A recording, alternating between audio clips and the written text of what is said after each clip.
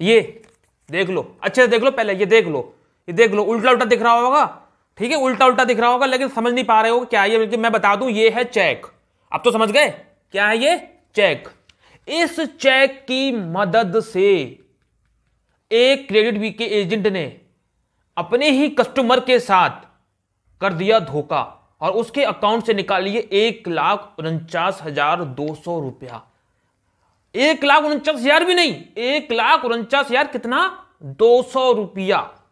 पचास रुपया छोड़ा केवल कस्टमर के अकाउंट में। अब ये चेक से कैसे निकाल लिए? आपको ये समझ में नहीं आ रहा होगा, ये बुद्धि नहीं दौड़ रही होगी। यही आज मैं बताऊँगा कि ये स्कैम जो चल रहा है ना स्कैम से बच के रहो।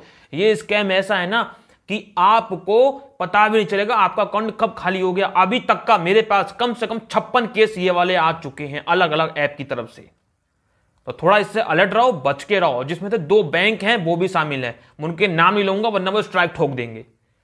ठीक है? क्या है पूरा मामला? अब मैं आपको बताऊँगा, लेकिन उससे पहले क्या करना है? हमेशा की तरह बहुत अच्छी वाली, एक प्यारी सी चैनल को सब्सक्राइब कर दो और बेल आइकन दबा दो और सब्सक्राइब सब्सक्राइब सारा कर डालो, क्योंकि हमारा वीडियोस आपको समय से मिलता रहेगा। अगर आप बेल आइकन दबा देते हो सब्सक्राइब कर देते हो, इतना काम करना है। तो चलिए, अब मैं आता हूँ अपने मुद्दे पे। आखिर इस चेक से कैसे जो है क्रेडिट बी के रिकवरी एजेंट ने पैसे निकाल लिए? अब मैं आपको बताता हूँ। हुआ ये, यहाँ पे हमारे जो सब्सक्राइबर हैं, उन्होंने क्रेडिट बी से लोन लिया था। ठीक है? लोन करीब उनका पंद्रह या बीस हज़ार के आसपास का था और वो टाइमली रिपेमेंट भी कर रहे थे। बराबर, कोई दिक्कत नहीं उनकी एक या दो किस्तें बची हुई थी। लेकिन वो उसको चुकाने में थोड़ा सा लेट हो गए, छह सात दिन लेट हो गए। अच्छा उनके पास रिकवरी एजेंट का कॉल आने लगता है।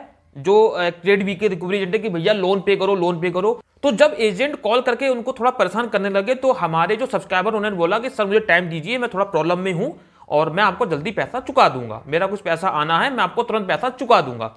तो उन्होंने कहा अच्छा तो उस बंदे ने जो एजेंट था एजेंट यहाँ पे क्या गुल खिला रहे हैं, क्या स्कैम कर रहे हैं, मैं वैसे इस पर ऑलरेडी वीडियो बना चुका हूँ कि क्रेडिट बी के एजेंट कुछ तरह गुल खिला रहे हैं जो कि कंपनी को भी नहीं पता है। ठीक है ना? वो उनके डेटा का यूज़ करके खुद से पैसे ले ले रहे हैं कंपनी के नाम पे पैसा ले ले रहे हैं और खुद की अपनी जेब भर रहे हैं। तो यहाँ पे उस एजेंट ने क्या किया? उनको अपनी बातों में लिया कि आपका अकाउंट वेरिफिकेशन होना है, हम आपका लोन माफ़ करा देंगे, ये कर देंगे, वो कर देंगे, या आपको इतना टाइम दे देंगे। कुछ ऐसी बातें करी कि उनसे उनका चेक ले लिया। बोले, आप एक काम करो, आप अपना चेक दे दो हमें काट के ठीक है ब्लैंक चेक दे दो। जो भी अमाउंट है ना, वो हम बाद में खुद जो है कंपनी उसको भर के आप जो पैसा रिकवर कर लेगी, आपको परेशान नहीं करेंगे। अच्छा उन्होंने विश्वास करके क्रेडिट भी पे विश्वास करके उन्होंने ये काम कर दिया। उन्होंने क्या गलती करी? सबसे बड़ी गलती उन्होंने क्या करी आप इस चीज़ को सुनो। उन्होंने जो अपना चेक था साइन करके दे दिया। उन्होंने कुछ भी नहीं डाला उसमें। मतलब ब्लैंक चेक जैसा होता है, देखो, जैसे ये ब्लैंक चेक है। ये मेरा चेक है, मैं आपको बता रहा हूँ, जैसे ये ब्लैंक चेक है, उन्होंने यहाँ पे साइन करके दे दिया और पीछे की साइड में ये जो होता है ना, पीछे साइड में चेक होता है, ये पीछे की साइड में अपने दो साइन और मार के दे दिए। ठीक है? कोई प्रॉब्लम नहीं है और उस एजेंट को बताए हुए उसके एड्रेस पे स्पीड पोस्ट कर दिया बकायदा। करीब एक हफ़्ते बाद पता चलता है कि उनके अकाउंट से एक मैसेज आता है कि एक लाख उनचास हज़ार दो सौ रुपया आपके अकाउंट से कट गया है। अब उनका दिमाग खराब। जब वो स्टेटमेंट निकलवाते हैं तो वहाँ पे एक चेक नंबर निकल के आता है। Four five three zero three one करके एक चेक नंबर है कि इस चेक नंबर से ही पैसे निकले। अब उनका ये दिमाग खराब किया मैंने चेक दिया ही नहीं है। चेक से पैसे कैसे निकल गए? कि फर्जी साइन करके किसने निकाल लिए? वो बैंक वालों से लड़ते हैं।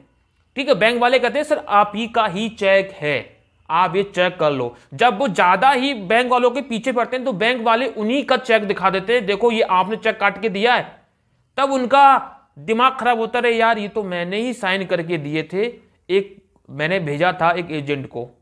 उसने मेरे साथ गद्दारी कर ली। तब उनको समझ में आया कि मतलब उन्होंने विश्वास पे उसको चेक काट के दे दिया कि भैया, कंपनी अपने आप जो है, आपका जो भी लोन का पैसा रह गया वो खुद ही चेक के माध्यम से निकाल लेगी। चेक के माध्यम से निकाल लेगी। इतना विश्वास पे ले लिया उस क्रेडिट बी के एजेंट ने। अब वहाँ पे उन्होंने खाली चेक जो था, साइन मार के दे दिया उसने अपने मन माने मुताबिक पैसा निकाल लिया। आपके मन में एक बात ज़रूर आ रही होगी कि उसने अकाउंट से एक लाख उनचास हज़ार दो सौ ही रुपए क्यों निकाले? उसे कैसे पता कि इसके अकाउंट में इतना ही पैसा है? अगर वो मान लीजिए कि उसे पता होगी, तभी तो उसने इतने पैसे निकाले हैं। वरना अगर वो कोई रकम डालता, दो लाख, तीन लाख उसके अकाउंट में नहीं होता तो चेक तो बाउंस हो जाता, उसे एक भी पैसा नहीं मिलता। तो आपकी जानकारी के लिए बता दूँ, जो ये एजेंट होते हैं, इनके कुछ बैंक से लिंक होते हैं। ठीक है ना? उनका जो चेक था, वो एक्सिस बैंक का चेक था। ठीक है ना? तो एक्सिस बैंक में उनकी कुछ जुगाड़ होगी। प्राइवेट बैंक है बहुत सारे मित्र यार, दोस्त होते हैं तो उसने कहीं ना कहीं से पता करवा लिया होगा कि इसके अकाउंट में कितना पैसा है। चेक पे तो अकाउंट नंबर लिखा ही रहता है कि इसके अकाउंट में इसमें कितना पैसा है। वो इसी चीज़ के इंतज़ार में होगा। जब उसे लगा होगा कि हाँ पैसा आ चुका है, उन्हें फटाक से चेक लगा दिया। और प्राइवेट बैंक में सेम डे में ही लगभग चेक का रेस्पॉन्स मिल जाता है सेम डे में ही क्लियर हो जाता है। मतलब कि कोई आपको ज़्यादा दिक्कत वाली बात नहीं होती है और उसका भी एक्सिस बैंक में अकाउंट अगर होगा तो सेम डे में क्या दो तीन घंटे में ही कम हो जाता है। प्राइवेट बैंक में यही फ़ायदा होता है, आपका चेक कहीं का भी वो सेम डे में ही कोशिश करते हैं कि आपका क्लियर करते हैं सरकारी बैंक की तरह नहीं कि तीन दिन का बोल के दस दिन लटका रहे हैं, ऐसा नहीं है। तो ये पूरा यहाँ पे गणना हुई है। जो मेरा दिमाग चल रहा है, वो यही है कि उतना इतना साड़ापन लगाया होगा। कोई बड़ी चीज़ नहीं है यार। चेक पे आपका जो होता है, नाम, आपका अकाउंट नंबर आपका एड्रेस भी जो होता है फ्रंट में सब लिखा रहता है, सब मिल जाता है। किसी ना किसी जुगाड़ से लोग पता करवा लेते हैं। कितना पैसा, बस ये मालूम पड़ जाए। और चेक लगा दिया फटाक से, बस पैसा निकल गया। अब वो हाथ खड़े हुए चिल्ला रहे हैं, क्या करें?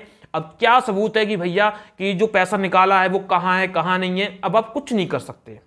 क्योंकि आपने खुद साइन किए हैं। अगर आप कंप्लेन भी कहीं करते हो ना, क्योंकि भैया, आपने तो खुद साइन किए हैं। आपने खुद चेक दिया है। हम कैसे मान लें कि इसने आपके अकाउंट में कुछ जालसाजी करी है, कोई ऐसा वैसा कुछ करके आपसे पैसे निकलवा लिए, धोखाधड़ी से कुछ कर लिया है? नहीं है ना, आपने खुद साइन किया भैया, आपको खुद साइन है इसमें। अब वो चुप है, उनका डेढ़ लाख का नुकसान हो चुका है। सिर्फ़ इक्यावन रुपया उनके अकाउंट में छोड़ा है। उनके अकाउंट में कहीं से पैसा आया था, करीब डेढ़ लाख का। ठीक है ना? एक हज़ार रुपये उन्होंने खर्च कर लिए थे तो एक लाख उनचास हज़ार दो सौ पचास या दो सौ इक्यावन रुपये बचे थे। तो उस भाई ने इक्यावन रुपये या पचास रुपये ही छोड़े, पूरे के पूरे पैसे खींच लिए। समझे? अब वो सब्सक्राइबर हम हमसे रो रहे हैं आके कि बताइए सर, हम क्या करें? बहुत परेशान हैं। तो ये, अब मैं बता दूँ कि ये ऐसी छप्पन कंप्लेंट्स मेरे पास आ चुकी है। छप्पन कंप्लेंट्स ठीक है ना? यहाँ पे कंपनी कुछ नहीं कर रही है। मैं कंपनी गलत नहीं कह रहा हूँ, ना ही कंपनी कुछ पता है। कंपनी की आड़ में कुछ रिकवरी एजेंट है जो ये काम कर रहे हैं। अब ये कौन लोग हैं? ये मुझे नहीं पता रिकवरी एजेंट हैं या ये ठेकेदार हैं या जो भी है। मुझे कुल मिलाकर ये एक स्कैम है और उसमें एक दो बैंक भी शामिल है। मैं उनका नाम ही लेना चाहूँगा। आपको हिंट दे रहा हूँ, वो बैंक वो हैं जो बहुत ज़्यादा स्ट्राइक देती हैं। ठीक है ना? मैं अच्छे से आपको बता दे रहा हूँ। एक के में बी आता है, एक के में एफ़ आता है। ठीक है ना? नंबर दो पे एफ़ आता है बीच में जो स्पेलिंग होती है, उसमें बी आता है। अब मैं आपको इतनी हिंट दे रहा हूँ, ज़्यादा मैं हिंट नहीं दूँगा, वरना मेरे चैनल पे स्ट्राइक ठोक देंगे तो मुझको जाएगी प्रॉब्लम क्योंकि मुझे जो जानकारी देनी है, वो मुझे मैंने आपको दे दी है। यहाँ पे दो बैंक ऐसी है प्राइवेट इतना इनके रिकवरी इतनी मक्कारी कर रहे हैं लोन के नाम पे चेक ले लेंगे।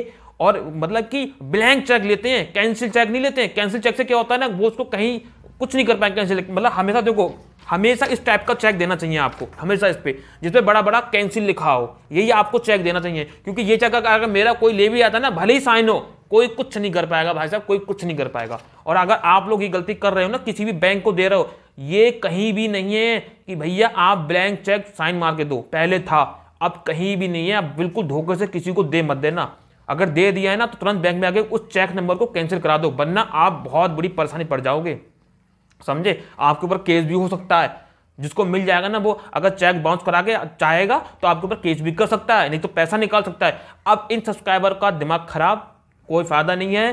क्रेडिट बी का लोन तो चुका नहीं पाए हैं। अब जो लोन है, जो चल रहा है, वो तो चुकाने चुकाना अब डेढ़ लाख का पूरा चूना लग गया।